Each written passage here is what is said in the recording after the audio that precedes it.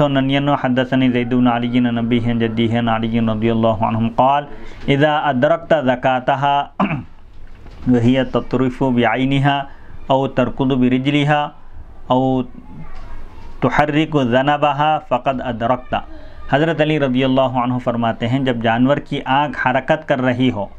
آنکھ پھڑپھڑا رہی ہو، تیر سے شکار کرنے کے بعد یا اس پر حملہ کرنے کے بعد بسم اللہ واللہ اکبر کہہ کر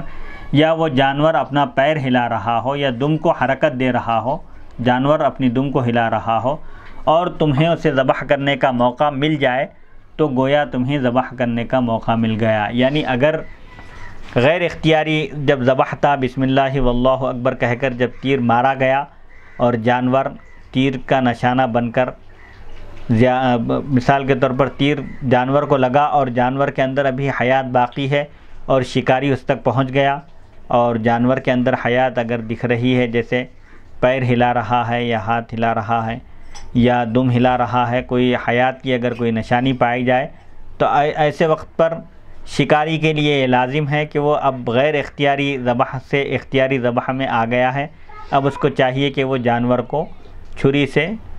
ذبح کرے۔ اگر اتنا موقع مل جائے تو گویا اس کو ذبح کرنے کا موقع مل گیا، لہذا اس کو ذبح کرنا چاہیے۔